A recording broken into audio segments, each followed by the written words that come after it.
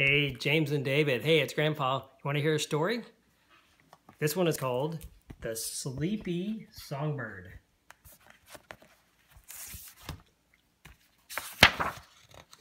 Deep in the forest, there's another picture of the sleepy songbird. Deep in the forest, the trees rustled and the animals stirred. The day had just begun. Perched on his branch, Peep woke to the sound of a beautiful song. Who's that singing, he wondered. Peep stretched out his feathers and decided to follow the tune. He soared on the breeze to the edge of the forest, where up in a tree he found an owl. Is it you who's singing? asked Peep. It's not me, hooted the owl. So Peep glided down to the field below, weaving through the grain, and soon he spotted a mouse. Is that your wonderful song? said Peep. It's not mine, squeaked the mouse. Peep hopped through the poppies and he followed the song down the riverbank. As he watched the water sparkle and swirl, up popped the frog. Have you been singing? asked Peep. No, croaked the frog. The song is coming from over there. Peep looked up and saw an enormous tree. On top of a hill, the tree was full of birds and they were all singing. Peep landed on one of the branches and listened. That was beautiful, said Peep when they had finished. I've never heard anything so lovely. Thank you, chirped a friendly bird. We're the Dawn Chorus. What's the Dawn Chorus? Peep asked. We sing together each morning, said the bird. Our song lets everyone know that it's the start of a new day. Peep thought for a moment. Hmm, can I sing with you, please? Come for an audition tomorrow, said the conductor. We start at dawn.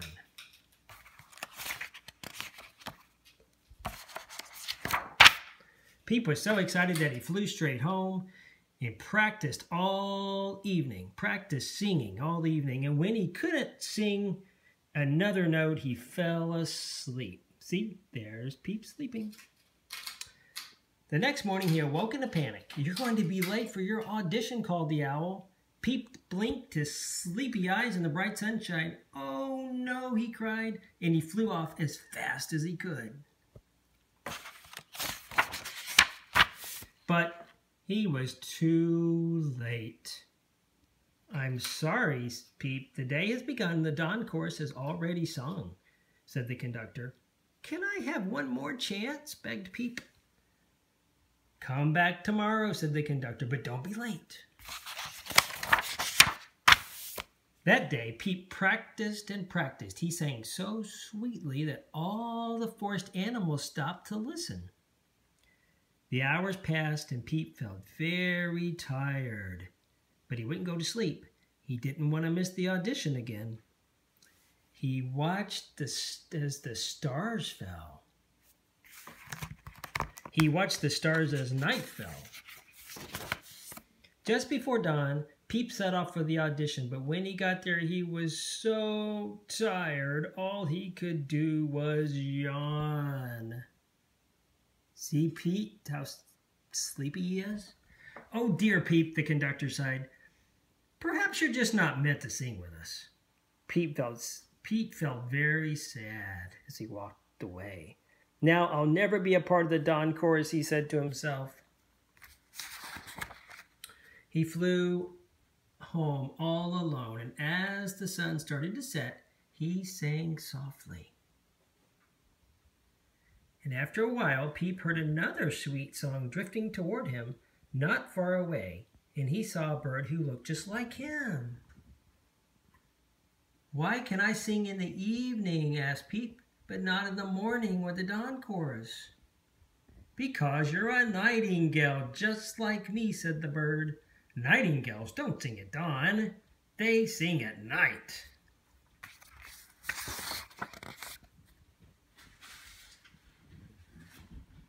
So, as the stars came out and the moon shone brightly, the two nightingales sang the most beautiful song of all.